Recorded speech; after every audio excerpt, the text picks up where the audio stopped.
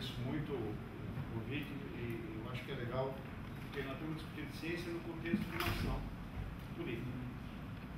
Que eu acho, eu, eu procurei colocar essa discussão né, é, mais ou menos nesse escopo e, e vou centrar em cidades. Eu vou, porque a primeira de São Paulo tem sido meu laboratório, eu sou nascido em São Paulo, gosto da cidade, e eu tenho usado hoje cada vez mais a cidade, os seus personagens, taxistas, controladores de trânsito, é, corte de gestantes, corte de crianças, é, e também alguns estudos experimentais para entender melhor como é que isso funciona. Eu sou, eu sou médico, trabalho, eu sou diretor da patologia do Incorte, uma atividade clínica como patologista, e minha linha de trabalho é entender como uma cidade adoece. Também eu tenho que prevenir que eu estou cada vez mais estudando o ambiente no sentido amplo. É, eu acho que, por exemplo, estudar a poluição isoladamente, ela tem que ser vinda com ruído, com clima, com estresse social, uma outra que são modificadores de efeito. Por que a gente foi morar em cidade? Porque a vida da cidade não é, fora da cidade não era fácil para os nossos antepassados. Essas pinturas rupestres mostram que você tinha que ser de bicho, às vezes o bicho vinha correndo atrás de você, dependendo do bicho. E, tinha, você fazia, esgotava recursos naturais, tinha que migrar. Né? E o que aconteceu foi que as cidades foram passar um grande tempo na história, né? As cidades foram se organizando e chegamos a ter cidades de grandes complexidades. Isso é Roma como vista pelos romanos antes do Google Earth. Né? Isso, e, e você chegou a ter um milhão e meio de pessoas e você começou a colocar gente, muita gente junta. Isso significa risco de contagiosidade, de doenças. Né? E, a ponto de que você via grandes obras de saneamento, como o saneamento a cloaca máxima. Ah, você passa aí, pessoal? Então tudo bem. A cloaca máxima foi, uma, foi um esgoto, uma rede de esgoto grande, porque se morria por diarreia, né? Doenças como cólera, só que a solução foi parcial, porque essa cloaca máxima jogava água no, no, no, nos pântanos ao redor de Roma, e o próximo do trabalho do, conseguiu? Foi malária. Proliferava mosquito, malária, o termo era ar ruim.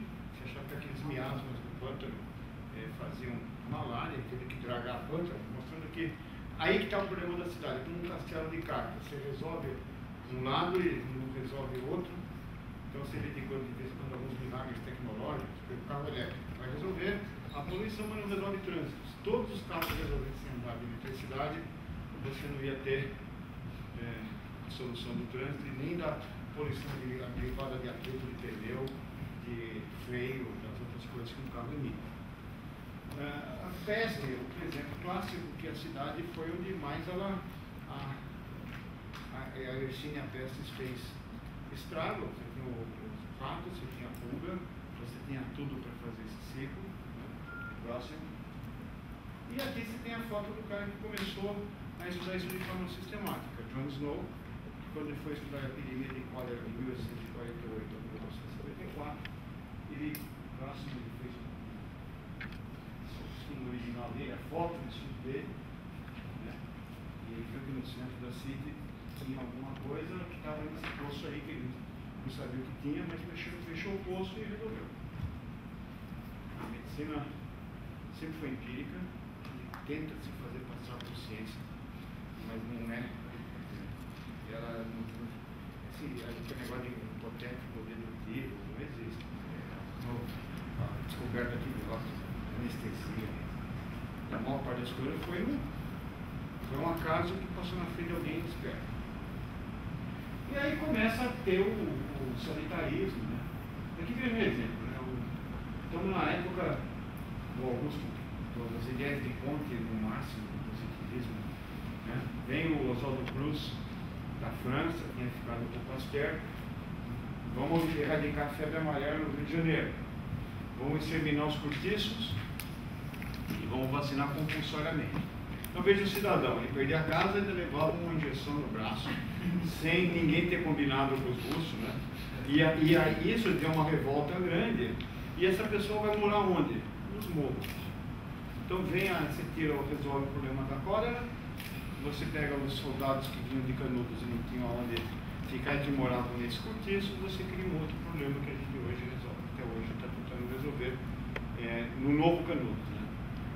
Né? É, o Euclides da Cunha, que a gente discutiu muito no tema anterior, ele dizia que aqui, o pessoal de Canudos tinha conhecia o brilho da civilização apenas no brilho dos fuzis. Né? E exatamente isso está acontecendo hoje, que invadir, pacificar e atirar. A guerra de Canudos não acabou para essas pessoas. Existe até hoje. Bom, vamos pensar um pouquinho agora numa escala maior.